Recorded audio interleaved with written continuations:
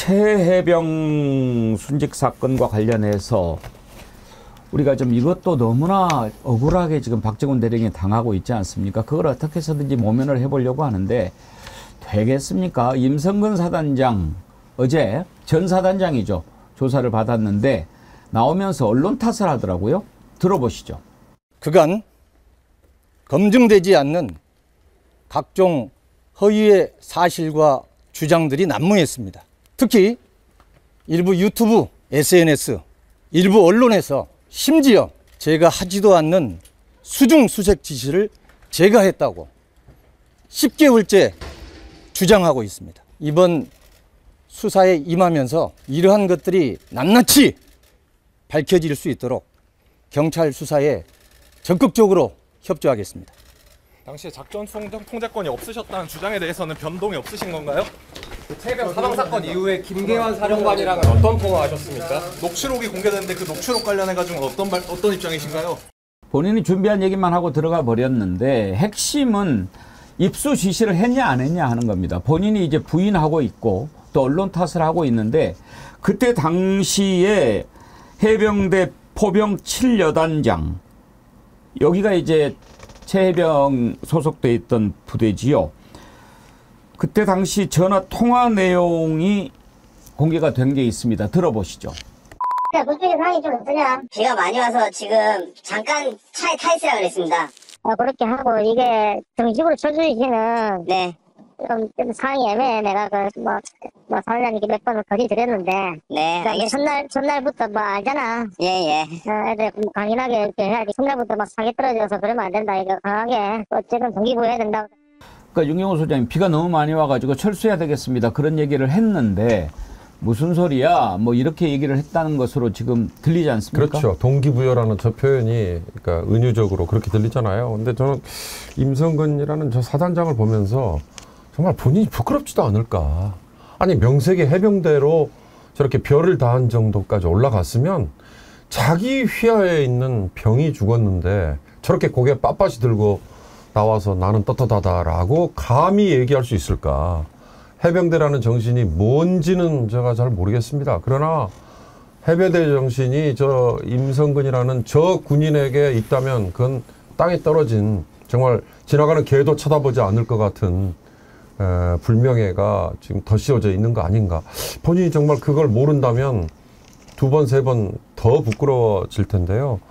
어, 입수 지시라는 게저 어, 대화 내용 말고도 대대장들이 참여하는 그리고 실무 중대장들도 어, 건의를 하는 단톡방 문자까지도 또 공개가 됐잖아요. 그런 것들이 나왔는데 그걸 어떻게 손바닥으로 지금 하늘을 가리려고 하는지 거듭 말씀드립니다만 본인이 좀 부끄러워해야 되지 않을까 싶은데요. 언론에 대고 그 언론 탓을 하는데 사실은 이 사단장이 그, 그 수색 작업을 가지고 그 공, 공훈장 실장이라 그러나 공, 정훈 장교, 정훈 공보실장이랑 얘기를 하는 걸 보면요. 마치 그걸 그 잘 포장해서 그 잘 하고 있다는 식으로 그 언론에 홍보하기를 원하는 이런 스타일의 분으로 지금 알고 있거든요.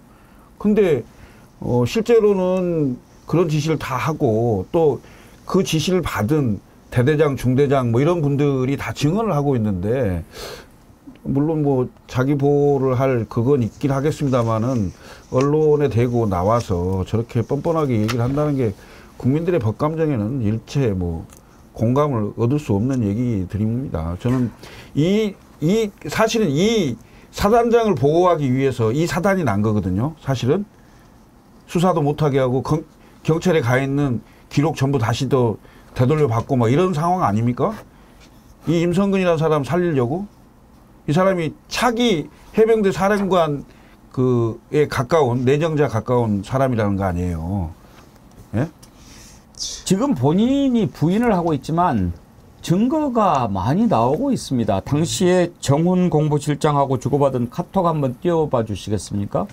그 화면을 보면은 예, 사단장님 지시 그렇게 하면서 특히 뭐 어떻게 하라고 합니까? 그렇게 지휘하는 부대장은 현 시간 이후 현장 지휘를 똑바로 할 것 뭐 이런 것도 돼 있고 복장 착용 미흡 또 훌륭하게 공부 활동이 이루어졌구나 물속에 들어가서 하고 있는 것을 보고 신문 일변에 이렇게 보도됐습니다 라고 정원 실장이 보고하니까 저런 걸 다 알아놓고 그리고 여러 가지 지금 증거들이 나오지 않나요?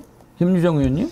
그러니까요. 저는 어떻게 사람이 저렇게 당당할 수 있는가. 이 사망 사건 이후에 10개월 동안 나라가 이렇게 들썩이고 국민들의 분노가 이렇게까지 끌어오르고 있는 이 마당에 우리는 사단장의 얼굴을 처음 봤잖아요. 어제 실물을. 그렇게 하고 들어가서 밤샘 조사했다는데 저렇게 당당할 수가 있을까.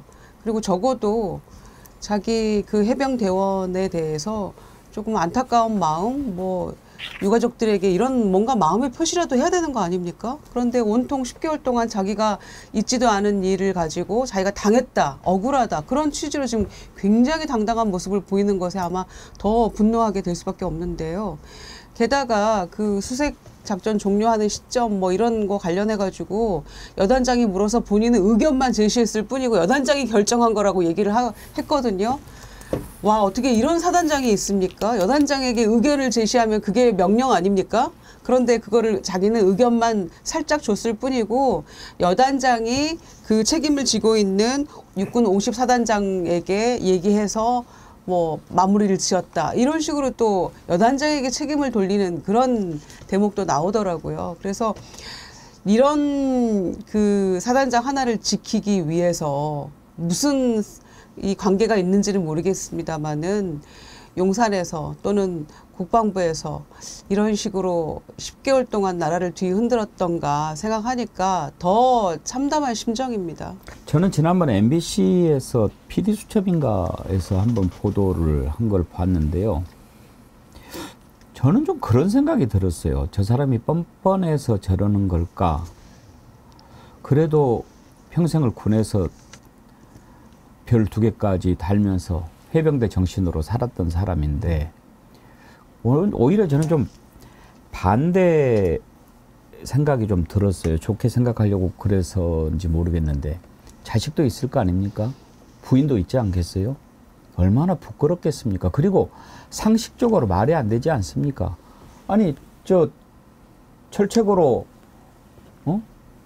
간첩 하나만 넘어오고 우리 병사가 넘어가도 사단장 모가지 날아가는 거는 항상 있는 일이죠.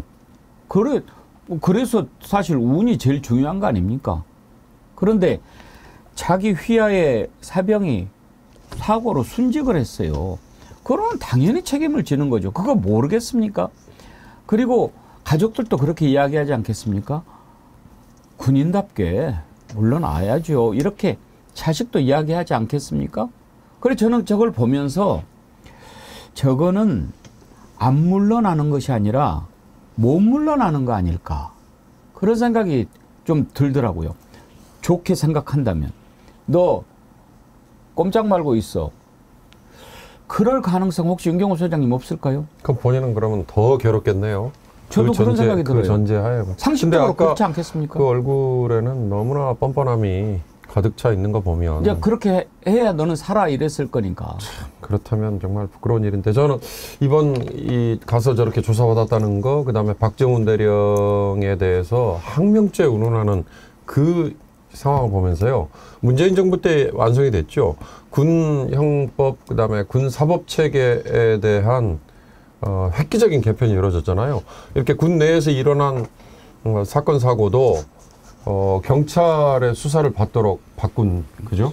그 전까지는 군 수사기관에서 수사해서 다 덮어버리고 심지어는 아마 투, 저 별 두 개 정도 되는 그리고 뭐 물론 대령도 하급법 심면은 있다고 합니다만 어, 재판부를 군 어, 상관이 맡아서 재판까지 형량까지 내리는 자기들끼리 그냥 어, 덮어버릴 수 있는 얼마든지 그런 구조가 가능했는데 그게 이렇게 바깥에서 외부 강제가 이루어질 수 있도록 바꾼 그게 그나마 아, 다행이구나 싶은 걸 이번에 아주 절감했습니다. 예, 고 이해람 중사 성폭력 사건 관련해 가지고 어, 만들어진 거잖아요. 군사보건법이 개정된 것이고 그래서 군대 내 성폭력 사건하고 사망 사건 이 두 건에 대해서는 반드시 외부 경찰에서 수사하도록 되어 있는 거죠. 지체 없이 이첩해서 하도록 되어 있는 건데 그 법에 완전히 역행하는 것이고 법을 어긴 거죠 지금. 이거 이제 수사해서 실체가 확실하게 드러난다면 그래서 이게 탄핵의 사유가 된다는 겁니다. 굉장히 중요한 거죠. 저는 이번에 이렇게 하는 과정을 쭉 지켜보면서 아까 김철근 총장님께서도 진지라는 표현을 쓰셨는데요. 지금 이제 윤석열 대통령이 진지를 구축하고 있다. 그런 생각이 듭니다. 이번 총선의 민심은 뭐였습니까? 이건 잘못한 거다. 여기에 대해서 반드시 진실을 밝히고 책임질 것 지게 해라. 그렇지 않으면 가만히 두지 않겠다가 민심 아닙니까? 근데 지금 쭉 한번 총선 이후에 일어난 것들 한번 보시죠. 야당 대표 만났습니다. 기자회견 합니다. 그리고 검찰 인사합니다. 그리고 민정수석실 둡니다. 민생 토론회 다시 시작합니다. 자, 이런 것들이요. 그냥 객관적으로 딱 보면 아, 민심을 수용하는 조치들이네라고 보일 수는 있죠. 그런데 한번 들여다보십시오. 야당 대표 만나서 야당 대표하고 뭐 하나라도 얘기된 게 있습니까? 이재명 대표가 작심하고 그렇게 발언하지 않았다면 그나마도 그 말조차도 못 듣고 넘어갔을 거 아닙니까? 나중에 본인이 85% 이야기하고 15% 들었다는 거 아닙니까? 기자회견 무슨 얘기 했는지 여러분 기억에 남는 게 있습니까? 오죽하면 외신에서 이런 기자회견 처음 봤다라고 얘기하지 않습니까? 민정수석 왜 만들겠다고 했습니까? 민심을 청취하겠다고 그래서 만들겠다고 하지 않았습니까? 그랬는데 엿새 만에 검찰 인사 딱 해가지고 김건희 수사라인 다 바꿔버리지 않습니까? 이런 게 뭡니까? 다 겉으로는 민심을 받아들이는 척 하면서 실제로는 차근차근 진지를 쌓고 있는 겁니다. 어떤 진지입니까? 무슨 일이 있어도 나와 내 가족은 지켜야 돼. 이건데 그렇게 하면 지켜질까요? 지켜지든가요? 우리가 기억하지 않습니까? 그 역사가 얼마나 오래됐습니까? 윤경호 소장님 한 10년 됐습니까? 10년도 안 되지 않았나요? 그 진지구축이라는 게 전 정말 굉장히 의미를 가진 표현이었네요. 근데 이제 한동안 이 보수 진영에서 지금 윤석열 대통령 이 자기들의 대안이었잖아요. 근데 에, 이러다가는 보수가 괴멸될지도 모르겠다라는 식의 불안감을 표출을 했고 그게 이런저런 방식으로 이, 대책이 강구됐다 이런 얘기들이 한동안 돌았는데 어, 지난 총선 이후에 저는 뭐 몇몇 보수 언론 또는 다른 쪽에서의 움직임 이런 거에서 어, 그런 기류를 좀 감지를 했어요. 그런데 이제 그거에 대해서 만약에 윤석열 대통령과 그 주변에 있는 사람들이 반격 내지는 뭐 뭔가 저항을 하고 있는 게 또 하나의 진지구축인가. 그렇다면 이거는 정말 또 다른 차원의 에, 싸움이 또 될 수 있겠구나라는 생각이 드는데요. 아무리 진지를 구축한들 에, 시계를 조금만 돌려보십시오. 지금 불과 뭐 한 달 전입니다.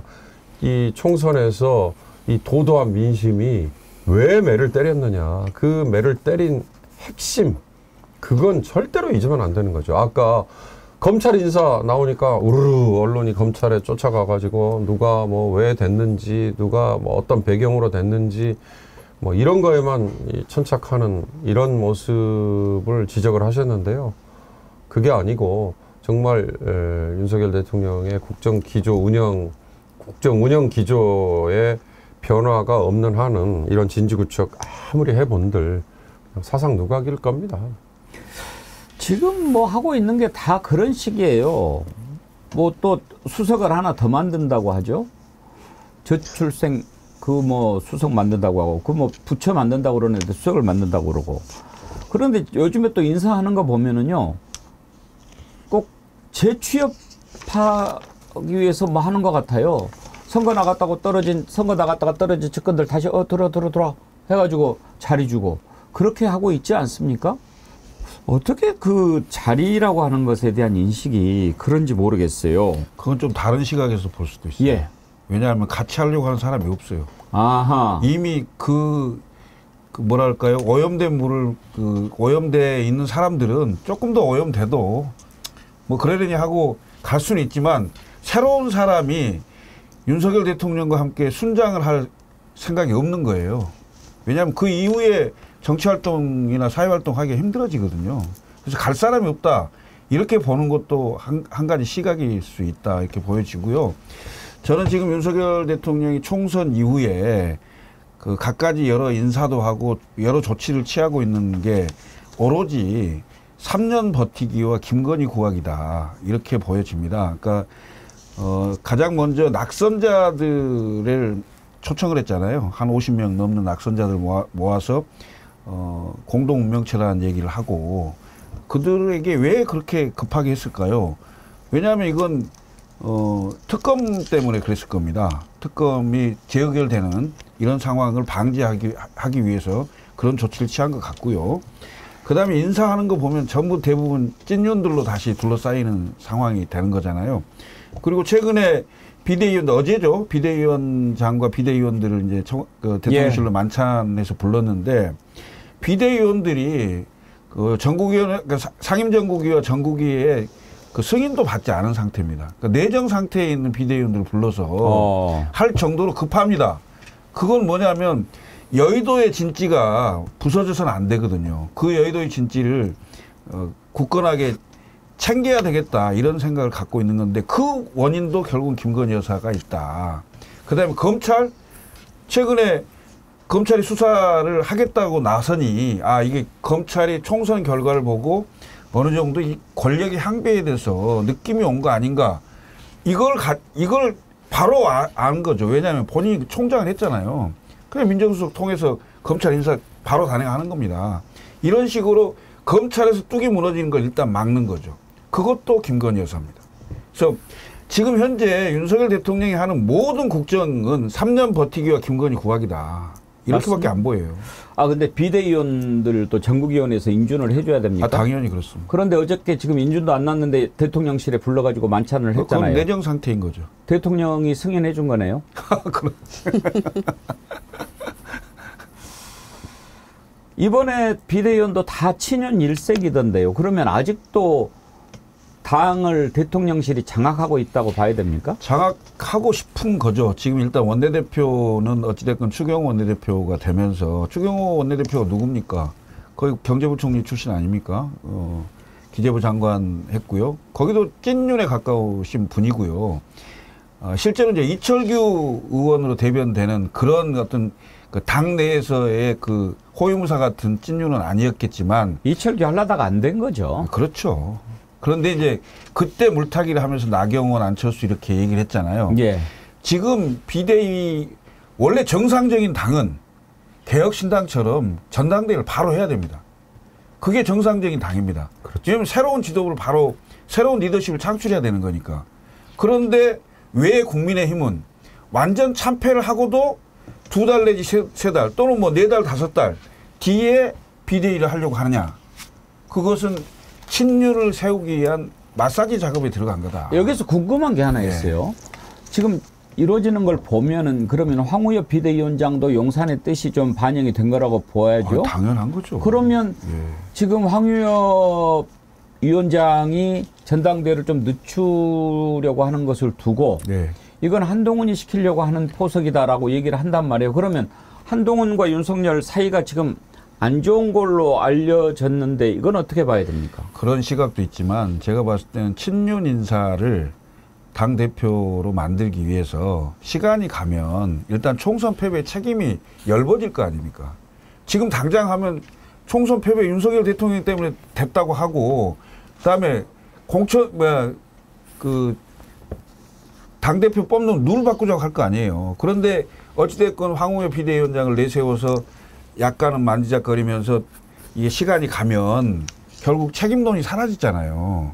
그리고 누를 안 바꾸고 당원 100%로 예를 들면 윤심이 당심이고 당심이 민심이다. 이 논리가 그대로 있을 건데 그것대로 가면 누를 안 바꾸면요 여전히 가장 그 센 세력은 윤심이거든요. 그럼 그대로 하는 거죠. 그러니까 한동훈 세우기다 아니다 어느 쪽이에요? 한동훈은 사라져야 될 겁니다. 제가 이, 이 대목 관련해서 우연히 가져왔는데요. 이거 한번 보십시오. 오늘 중앙일보의 어. 제목입니다. 딱 지금 그러니까요. 그거죠. 전대를 고쳐도 안 고쳐도 고쳐도 안 일대일 고쳐도 비윤. 이 예. 비윤에는 한동훈도 포함돼 있어요. 음. 재밌는 건. 그러니까 최근에 나온 그 어, 여론조사에 보면 유승민, 한동훈 이렇게가 높다면서요. 지지층 내에서 한동훈에 대해서 압도적으로 높게 나오고 밖에 있는 사람으로는 어, 유승민. 근데 지금 이 기사의 분석으로는 한동훈도 비이윤이더라고요. 그러니까 지금 정말 저도 아까 공감을 했는데 아니 명색이 집권 여당인데 집권 여당이 지금 비대위가 2년 사이에 비대위가 몇 번이며 그다음에 총선 패배 좋아요. 그거 충격 받은 거잖아요. 그럼 바로 전당대회를 해야죠. 그렇죠. 그래서 새 지도부를 예, 예. 뽑아야죠. 맞습니다. 그게 제1 야당이 아니 제2당이죠. 지금은 제2당이고 아, 집권 여당이라면 그 나머지 정당들은 오히려 더 어 뭐 추스리기에 정신 없고 시간이 필요하다. 이 말이 되지만 아, 면면을 이어오는 보수 정당인데 아직도 전당대회를 이렇게 뒤로 미루기만 한다. 이거 얼마나 부끄러운 일이에요. 윤심 관철을 위한 꼼수입니다. 집권 2년차에 비대위원장 체제로 총선을 치른다는 거는 과거에 상상할 수 없는 일이었잖아요. 그런데 그런 일들을 뭐 워낙 아무렇지도 않게 하고 있으니까 그것도 특별할 것도 아닌가 이런 생각도 하게 되는데 황우여 비대위 체제는 그렇게 무슨 7월 말 8월 말 늘릴 것이 아니고요. 하루라도 땡겨서 빨리빨리 정식 지도부를 만들게 하는 그런 전당대회 룰 바꾸는 거 정도를 제대로 잘 해내면 성공적인 비대위였다고 저는 평가하기 때문에 그거 빨리빨리 해야 되고요. 글쎄요. 유승민 전 대표에 대해서 가- 굉장히 안 좋은 감정이 있죠. 용산에서. 그런데 한동훈이 더 미울 수도 있잖아요. 요즘에는. 그러면 룰 바꿀 수도 있겠죠. 별 생각을 다 해봅니다. 왜냐면은 누구도 함께 영원히 갈 수 있는 사람이 없다는 생각이 들어요. 대통령 주변에는 다 쳐내고 다 여차하면 배신자라고 낙인 찍고 이렇게 하고 있기 때문에 그 김건희 여사라는 딱 트리거가 있어서 그 부분을 딱 건드리는 순간에는 20년 지기고 뭐고 대통령이 얘기한 대로 20년 함께 온 사람도 바로 한순간에 적이 될 수 있다는 거를 본인이 보여주고 있잖아요. 그 기준으로 하면 이철규 당대표네요.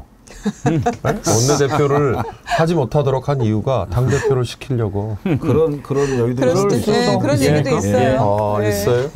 친윤 일색으로 당을 꾸민 것 이것도 역시 아까 제가 말씀드린 진지 구축의 일환이라고 봐야 됩니다. 그러니까 그야말로 이제 정말 풍전 등화지요.